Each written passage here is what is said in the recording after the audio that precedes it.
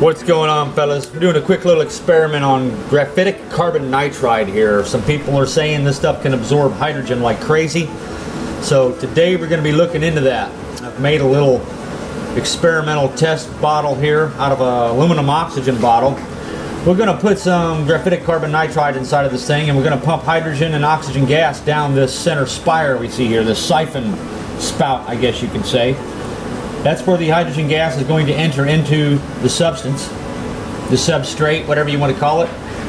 And um, we are going to run a torch that is connected in series with this little setup to see if the hydrogen flame changes at all.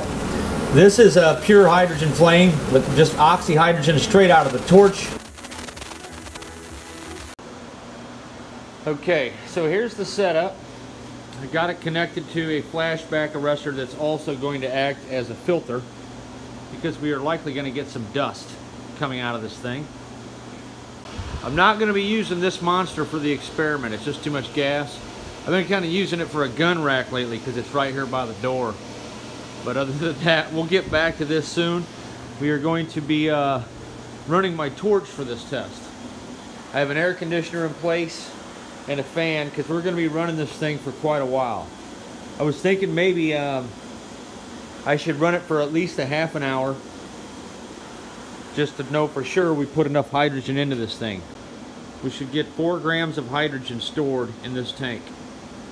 4.2 and 2 grams of hydrogen let me hold on this is kind of hard to think I need some of you chemistry guys to help me out insane tuna if you're out there brother hook me up on some intel here.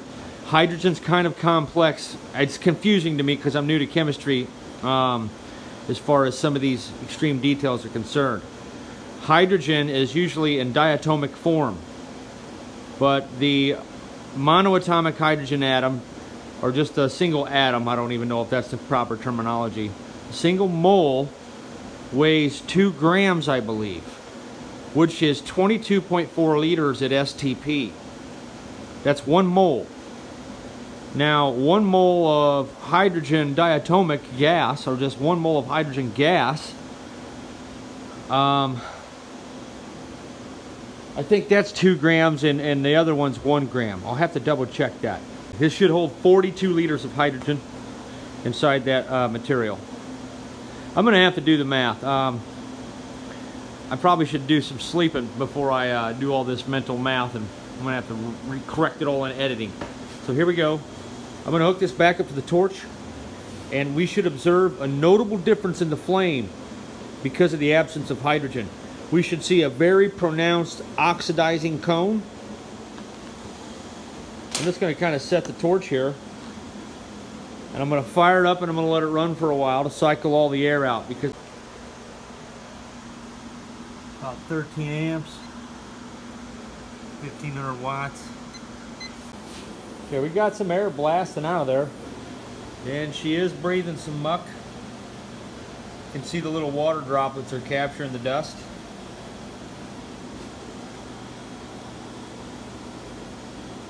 I knew I'd have to get a filter in here. I just ain't got time to jack with it right now. So, I think it's time to go ahead and start trying to light it. If it's diluted with a little bit of air, no big deal. Let me get some safety glasses on. Well, hell, this thing ain't gonna blow up. It's freaking solid steel.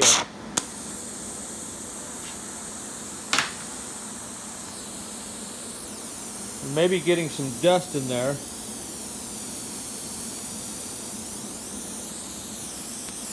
It is a uh, yellower flame this time around. I can tell you that. So technically this material in the tank should be absorbing the hydrogen. The flame does appear to be smaller, guys.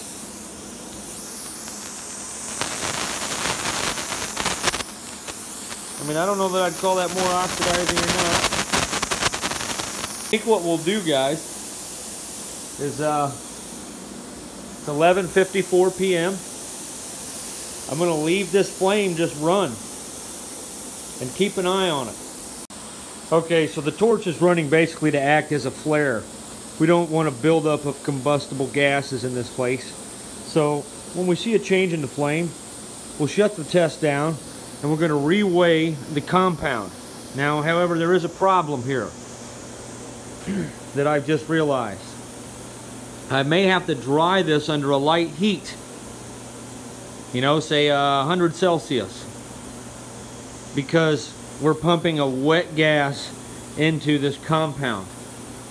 So when I go to weigh it, obviously it's going to take on a moisture content, whether it's hygroscopic or deliquescent, right? I mean, some of you chemists help me out if you think my theory's right on this. Even if it is just vapor pressure water, even if this is a hygroscopic material, it still may accumulate some particles of water that are going to show up on the scale. I do have some silica gel beads that we could run on the second test. But I don't at the moment have a container and some plumbing available that I that I know of. I'm going to look for a piece, but that's where we're at for now. This When hydrogen diffuses into these materials, um, it tends to heat up, as far as I know. I could be wrong. I'm also curious about the diffusion behavior inside of this tank as far as the gas is actually missing. Um, we may get something, uh, some type of rat holing effect where we boil a channel and gas just passes through an open channel rather than sieving through the material. So I may want to, at the very bottom of the tank, place some like molecular sieve type material or try and turn this stuff into beads. I wonder if we can turn it into like vitrify it. I wonder what type of things we can do to this stuff and it still retain its hydrogen absorbing characteristic. Conspiracy to prevent us from considering our own ways. Since the human mind is so constituted that it must consider something, we Yep. contemplate this. Every word that you utter, and every deed that you do, is consequence of an act. It is also the cause of another thing. Did you do? A link between something that made you do Now let's weigh the product and see how wet it got. Hopefully it seems dry still, but I have a feeling it picked up more moisture than it did hydrogen based on the way that flame acts. On Gold Rush. Come on, big money. We're going for a thousand ounces this month.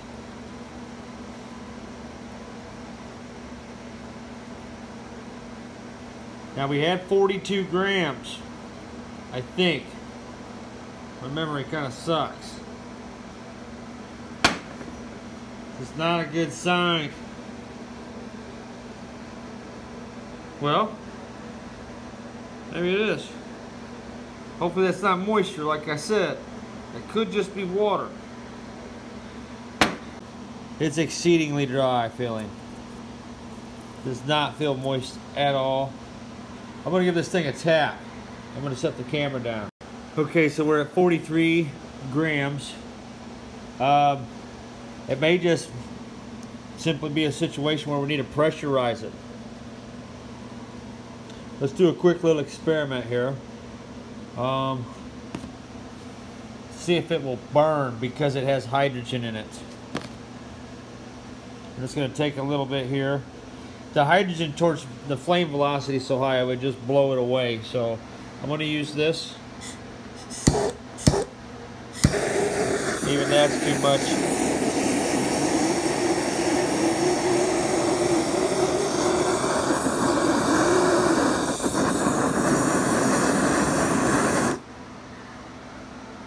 Okay, nothing fancy. Metal hydride will burn.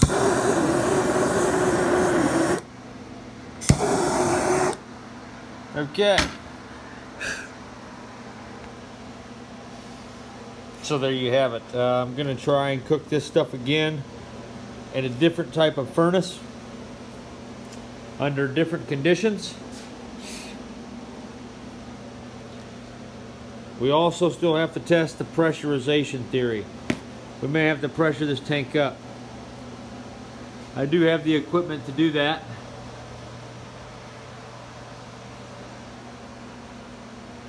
So that's going to be the next phase.